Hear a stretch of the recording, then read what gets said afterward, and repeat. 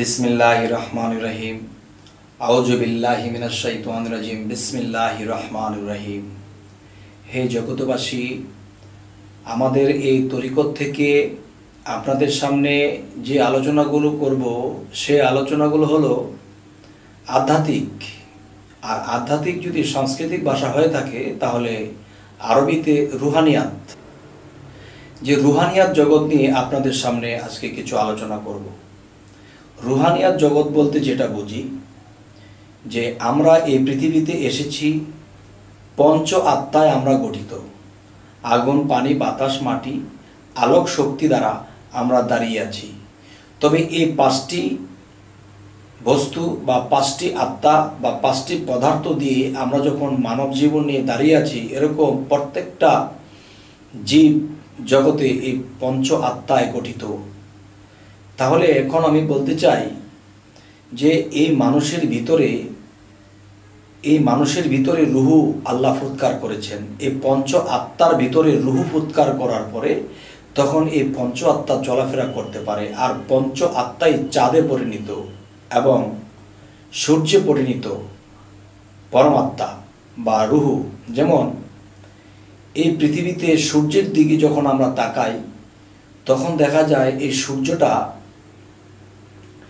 তখন দেখা যায় এই সূর্যটা সে নিজে আলোকিত এবং যে চাঁদের আলো যে একটা বিষয়, তার একটা গতিশীল আলো আছে। তারপরেও কিন্তু সূর্যের আলোর কিরণ থেকে সে সহযোগিতা পায়, তখন সে আলো ছড়ায়।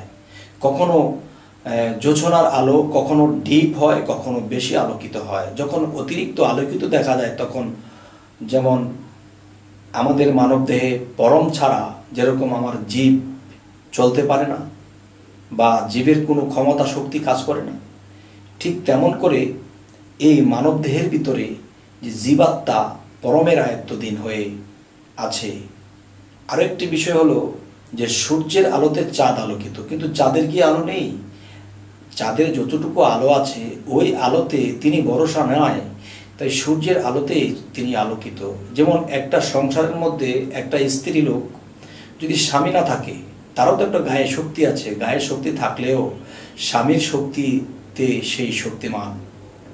আর স্বামী যদি সংসারে না থাকে, তাহলে কত মানুষের অপমান তিনি সইতে হয়। যাই হোক, আজকের আলাপের মূল বিষয়টি হলো যে এই মানব দেহটার ভিতরে একজন এই তিনজন হইয়া এই মানব দেহটা চালাইতেছেন। কীরকম? যে তিনজনে মিলিয়া একজন যে করে চৈতন্যের ভজন, তার দিব্য আঁকি খোলে। তিনজনে মিলিয়া একজন সেটা কি? যেমন আমাদের শাস্ত্রয়ে যদি বলি, তাহলে বলা যায় কি?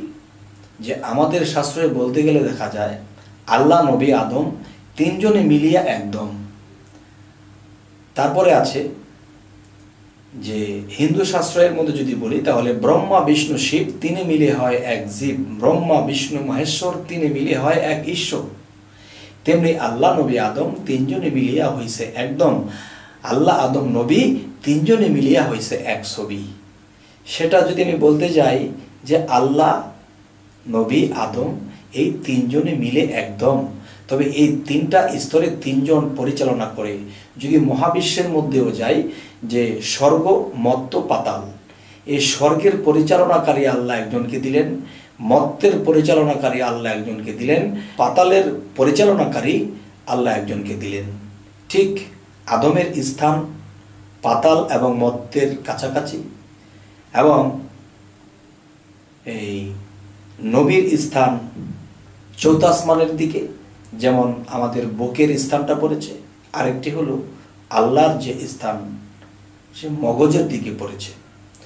যাই হোক, আজকের এই আলোচনাগুলো করার উদ্দেশ্য এটাই যে আপনারা অনেকে লক্ষ্য করবেন, আমাদের এই বিশ্ব আধ্যাত্মিক জ্ঞান সঞ্চার দরবার শরীফ হতে আমরা বেশিরভাগ আধ্যাত্মিক রুহানি জগতের কথাটাই বেশি বলে থাকি।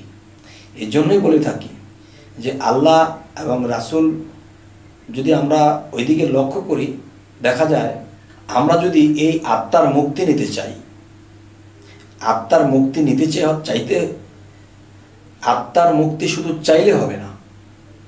এই আত্মার মুক্তি নিতে হলে আমাদের তত্ত্বজ্ঞান জানা থাকতে হবে এবং আমাদের প্রেম ভক্তি অটল থাকতে হবে। তো জ্ঞানীর জ্ঞান অর্জন করার পাশাপাশি যদি কেউ সাধনা করে এবং আল্লাহর সাথে প্রেম ভক্তির দেশে থাকে, তাহলে কি হয়? জ্ঞান এবং প্রেম দুটা মিশ্রিত হয়ে একটা বিশাল আকার ধারণ করে।